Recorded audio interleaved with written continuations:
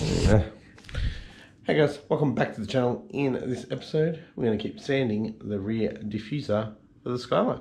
Stay tuned.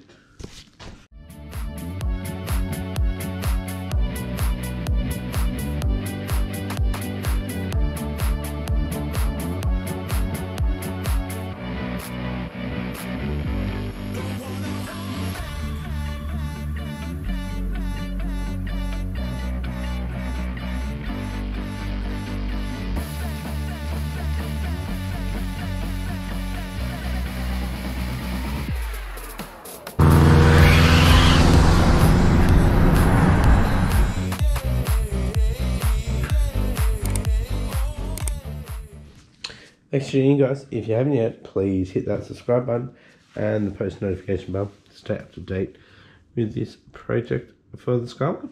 With that being said, let's get sanded.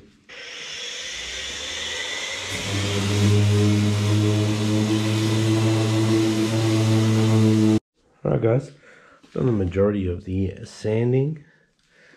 I've uh, gone through a little bit on a few spots. I'll need to touch that up. Don't touch it up, I can just paint it from the back black. So, just to clean this up a little bit. See how it looks.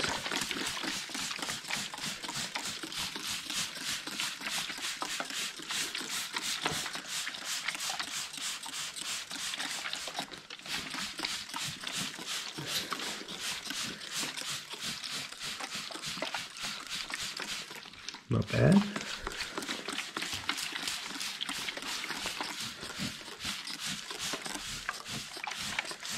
Not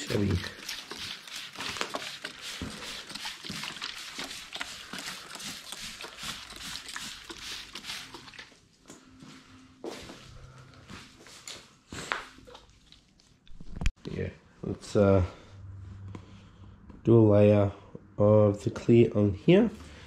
So what I'm going to do is mix it up. It's going to be pretty runny at first. I'm just going to dab on where I've gone through and just put a little bit more um, chopped carbon on there. And then I'll give it like five minutes maybe. And then I'll brush the whole thing and hopefully it will level it out. So I'm going to be using the 500 series epoxy resin and that hardener, the 520B. So I don't want to mess up, so I'm going to put that away. So I can't. So yeah, it's a obviously a 5 to 1. So probably do 100 to 20.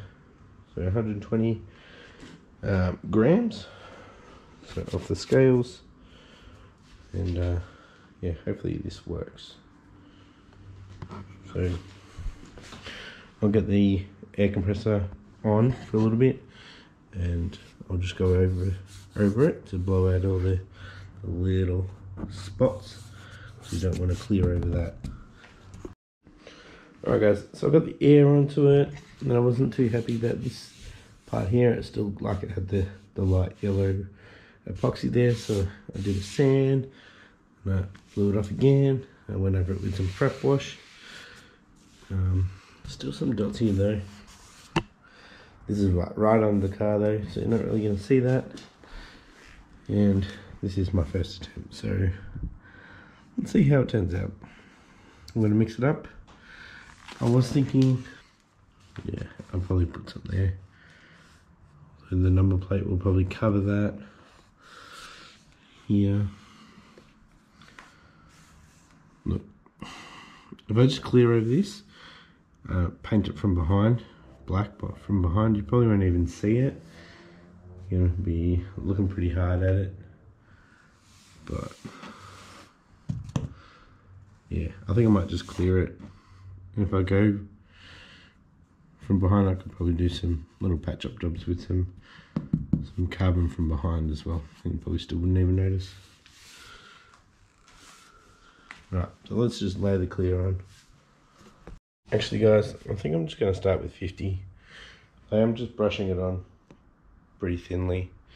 It's not to fill in any deep holes or to put more carbon on. So yeah, I've just got 54 grams. So I'll put 11 grams in of the hardener. Alright guys, we're going to be stirring it for a good minute or so. Make sure it's completely mixed.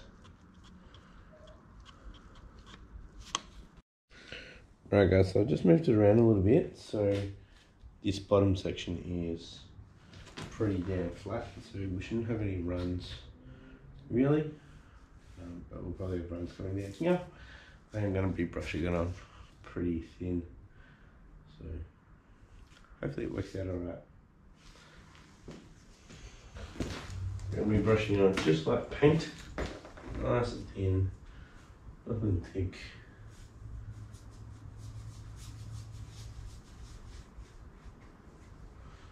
Obviously if there's any holes, I'd love to fill it up. A bit harder on the edges here. Yeah.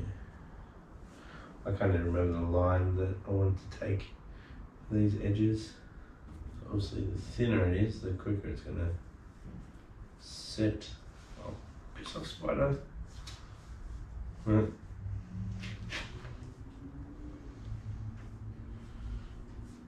Yeah, I, I can't even remember where the edge is. There's no way this is gonna run. This is just pretty thin. So unfortunately, where I've gone through, um, I've gone through the mold release too. So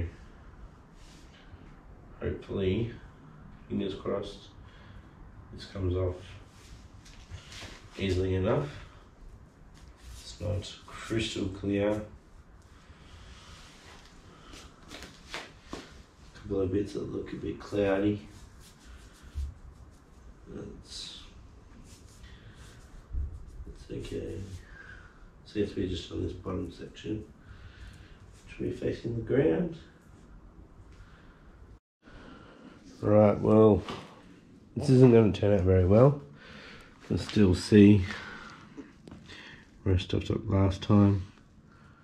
There's like the cloudiness. I can really see it on the camera. But also here it's still the, the milky thing again. So it might actually be the reaction between the two resins that I used. The first one that I used that I got from Bunnings, which was a tabletop clear. So see how this turns out in the morning. I might end up just using this piece to do a mold. Not sure we'll see how it goes because definitely don't want to be running a forged carbon diffuser that looks like crap so Alright guys, so the diffuser is probably a bust. So what I'm thinking is leaving it like this, adding another layer of clear on top, and then doing another layer of the forged carbon. Like I've shown you, I've gone through on quite a few parts, so you know it's not actually that thick. So probably if I do take this off, it's going to be that flimsy that it'll probably break anyway. So I might go for another layer of the forged. So after this is all dried, we'll do it again and hopefully we can get rid of all this cloudy junk because it'll be the the new hardener. Then we'll do another layer of forged carbon, then a new layer of clear again. So hopefully it gets rid of all of that. Fingers crossed it does. So that'll have to be tomorrow, so it'll still be in this episode. It'll just be at the end. Alright guys, it's the next night. We are fully cured by the feel of it.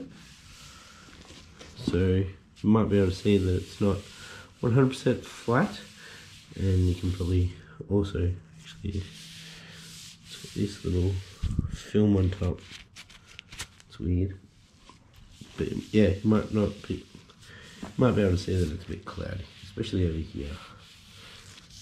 So what I'm going to do is do another coat of the resin do another drop of the forged carbon I'll probably get some peel ply onto it and roll it out over the peel ply to get it nice and flat and to fill in the areas where I have gone through. So we're hoping to get a bit more thickness to this piece and to get rid of um, the cloudiness. So hopefully having resin, same resin on top of each other we'll end up with a clear top coat and we'll have it a bit thicker as well. So I'll get some peel ply ready, mix up just 50 grams again because that did do a bit of coverage. So good, good layer for me to drop some carbon onto. Then we'll probably double that to fill it in.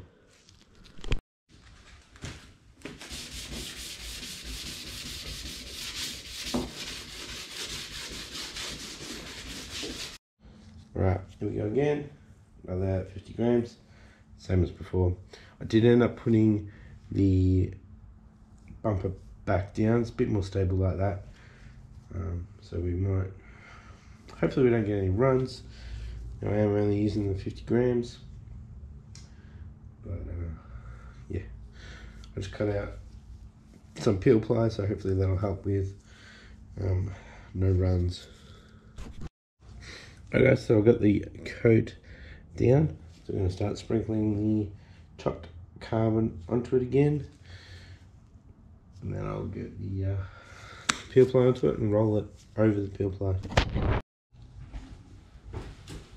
So I'm mainly going to be looking at obviously really good coverage, but also covering up um, the bits I went through. Definitely uh, repeating myself a bit here. So the problem with the chopped doing it as skinning, um, you can't get the thickness, well it's very hard to get the thickness the same. So, hopefully we go alright. Whereas if I was doing it the other way as a mold, okay, you're going to have a top layer that's consistent because you're putting into a, a formed mold. Hopefully it comes out okay.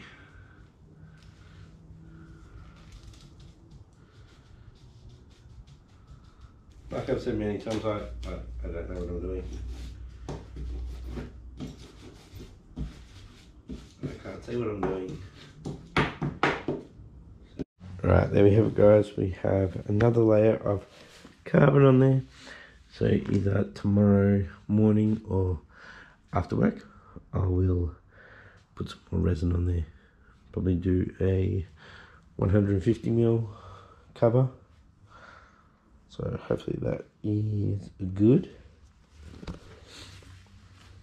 So to wrap this episode up here, guys. If you like what you've seen, give it a thumbs up. If you haven't yet, please consider hitting that subscribe button and that post notification bell to stay up to date with these, these little projects and my bigger ones too.